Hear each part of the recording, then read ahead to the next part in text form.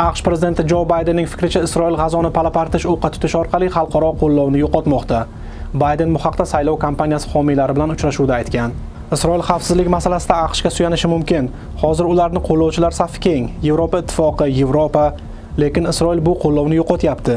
G'azoda palapartish bombalash ketmoqda deb baydenning so'zlarini keltirgan reuters.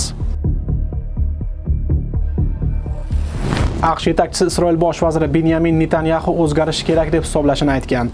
Reutersning qayd etishicha oktyabrda boshlangan urushdan buyon bayden ilk marta isroil manziliga bunday keskin chiqish qildi. Bbc ham baydenning chiqishini isroilga nisbatan keskin deb baholagan. Bayden homiylar bilan uchrashuv vaqtida netanyaxu u bilan yakkama yakka uchrashuv vaqtida aqsh o'z vaqtida atom bomba ishlatganini eslatganini gapirib berdi. Isroil yetakchisi o'zaro suhbatda siz germaniyani bombalab tekislagansiz siz atom bombasi tashlagansiz ko'plab tinch aholi vakillari o'lgan dedi. Axir shu sabab ham barcha institutlar sodir bo'lgan ishlar takrorlanmasligi uchun ikkinchi jahon urushidan keyin tuzildi. Bizni afg'oniston urushida qatnashishga majburlagan 11 sentyabr voqealari vaqtidagi xatolarimizni takrorlamang degan bayden.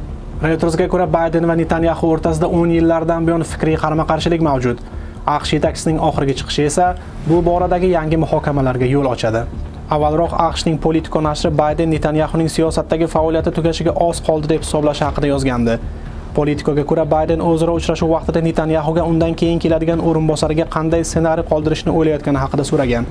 Gazeta aqsh hukumati netanyaxuning o'rniga kelishi mumkin bo'lgan odam sifatida ikki sobiq bosh vazir yair lapid va naftali Bennett, shuningdek sobiq mudofaa vaziri benni hans bilan muzokara olib borganini yozgan.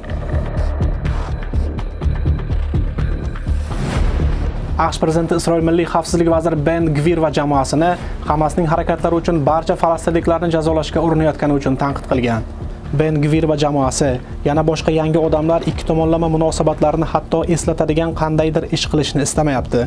Ular nafaqat hamasdan qilgan ishi uchun balki barcha falastinliklardan qasos olmoqchi degan amerikalik demokrat. Bayden isroil hukumat rahbariga falastin avtonomiyasi masalasiga jiddiy qarashni tavsiya qilgan.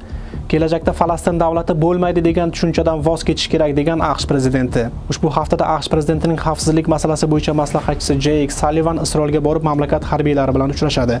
Bu uchrashuvlarda asosiy e'tibor g'azodagi tinch aholi vakillarini himoya qilishga qaratiladi. Shuningdek pentagon rahbari loyd ostin ham qizil dengizdagi savdo yo'nalishlarida xavfsizlikni ta'minlash masalasida uchrashuvlar o'tkazish uchun yaqin sharqqa boradi. Ma'lumot uchun hamasning 7 oktyabrdagi hujumidan keyin isroil 2 oydan buyon g'azoni o'qqa tutmoqda. G'azo sog'liqni saqlash vazirligiga ko'ra hozirgacha isroil raketa zarbalari oqibatida 18 mingdan ortiq falastinlik halok bo'lgan 50 ming kishi yaralangan. Dunyoda odamlar eng zich yashaydigan hududlardan biri bo'lgan g'azoda dahshatli gumanitar inqiroz yuzaga kelgan.